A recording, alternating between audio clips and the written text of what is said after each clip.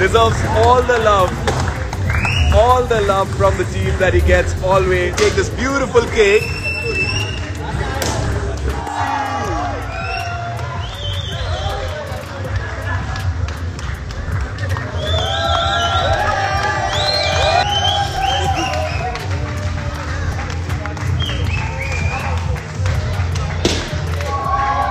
Nice little new look for our man. Yeah, yeah, yeah, yeah, yeah, yeah.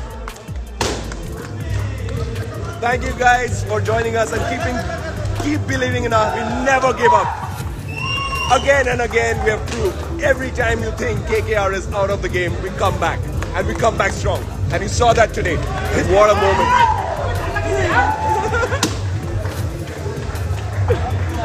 Celebration, almost kind of a performance. Big B from big Rinku आपको बता दें, आखिरी over में रिंकू सिंह ने लगातार पाँच छक्के लगाए, जिसके बाद में बॉलर्स की कंडीशन ऐसी हो गई कि वो रोने पर मजबूर हो गए। कप्तान राशिद खान भी अपने दांतों तले उंगलियाँ दबाते हुए नज़र आए।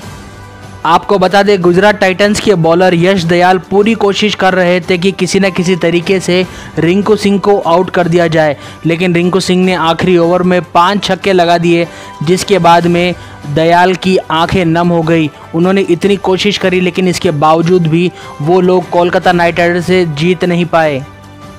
दोस्तों, आपको बता दें, गुजरात टाइटंस ने 205 रनों का टारगेट दिया था। लेकिन राशिद खान की बॉलिंग ने जिस तरीके से हैट्रिक विकेट लिए कोलकाता नाइट राइडर्स के, सभी को लग गया था कि आज ये टीम जीतने नहीं वाली है। लेकिन आखिरी ओवर में जब रिंकू सिंह ने पाँच छक्के लगा दिए, तब कोलकाता नाइट राइडर्स ने चैन की सांस ली। और दोस्तों, आज का ये मैच काफ़ी रोमांचक तरीके से ख़त्म हुआ।